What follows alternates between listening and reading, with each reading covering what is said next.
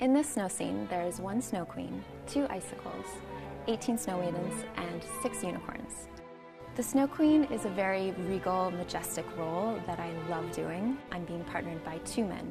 Both men have to share the responsibility of the lifts, the turns, and the balances. The atmosphere during the snow scene for the Snow Maidens is completely magical. Before going on stage, all of the Snow Maidens are gathered backstage, and there's a real air of excitement before going on. We're ready just to get out there and dance everything that we've been rehearsing for. The snow in Nutcracker falls in the last 10 or 12 minutes of the first act. The snow that we use is small squares of paper. It's made of a light flame-proofed tissue paper.